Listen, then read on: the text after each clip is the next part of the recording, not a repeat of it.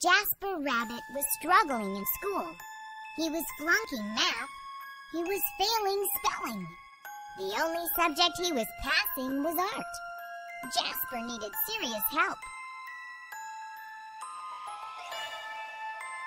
That's when he found the crayon. It was purple, pointy, and perfect. And somehow, it looked happy to see him. That night, Jasper knew he had to study for his spelling test, but Tales from the Carrot Patch was on. By the time it was over, he was way too tired to study. The test was a disaster. Jasper couldn't remember how to spell a single word. That's when he noticed something strange. Jasper picked up the crayon.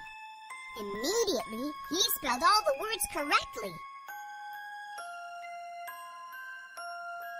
When he got his test back, he got an A plus and a sticker. The crayon looked pleased. Creepy, but cool. After dinner, Jasper settled in to play Bunny Brawl 3. Math homework first, said Dad. Fine, moaned Jasper. That's when he saw it. Scrawled in peculiar purple penmanship. Who needs math when you have Bunny Brawl 3? Three hours later, he fell asleep. His game in one hand, purple crayon in the other. When Mrs. Lopshire announced a surprise math quiz, Jasper panicked. He reached for a pencil, but instead, his hand wrapped around the crayon. Suddenly, math seemed easy. He knew when to carry the one. He knew when to borrow from the bigger numbers. It was like the crayon knew exactly what to do. After the quiz, he saw it, written on his backpack. Jasper plus crayon forever.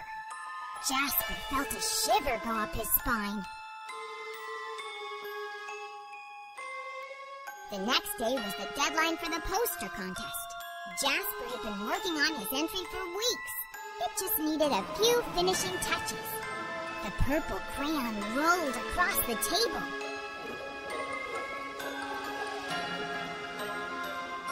All by itself. But Jasper ignored it. Don't ignore me. He shuddered. He scrubbed the writing off the table. He zipped the crayon into his pencil case. He tried to forget all about the crayon. But when he woke up, his precious artwork was better than ever. It was a horrifying masterpiece in purple. Fantastic work! cried Mr. Hoppypot. You should be very proud! But Jasper didn't feel proud. He felt eked out, freaked out, creeped out.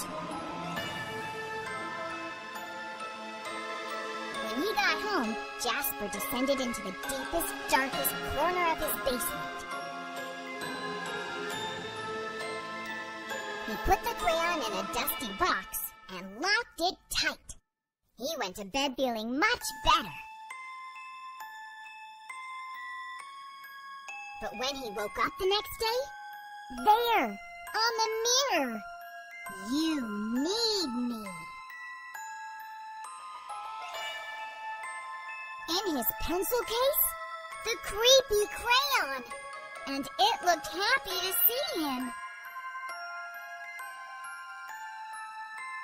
That day, Jasper got all A pluses. It was terrible. Enough was enough. Jasper snapped the creepy crayon in two. He melted it in the microwave, and he threw the mess into the garbage. He drifted to sleep that night feeling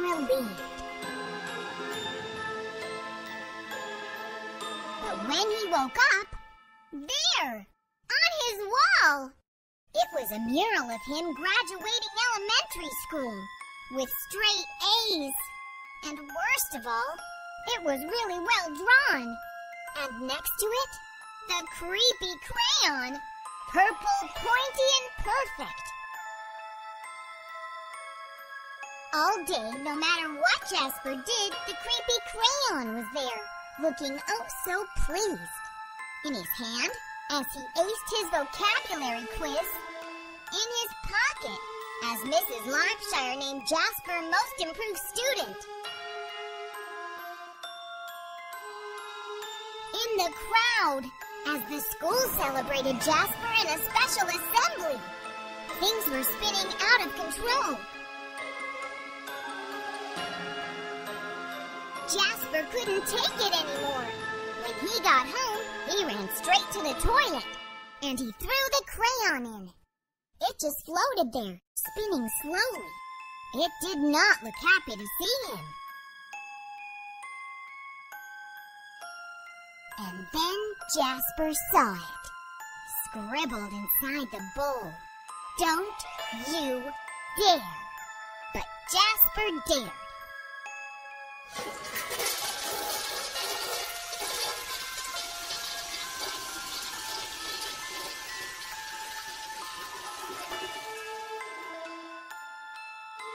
That evening, Tales from the Carrot Patch was on, but Jasper studied for his spelling test. His eyes kept darting to his pencil case. No creepy crayon. He flung the toilet lid up. No creepy crayon. He got into bed, nervously watching his walls. No creepy crayon. During the test, Jasper spelled ocean wrong, but he spelled courage right. He got a C plus. Woohoo! It was glorious. It wasn't an A, but it was his. He headed home from school that day, finally feeling free. Far, far away was an old sewer pipe. Out and away floated the purple crayon.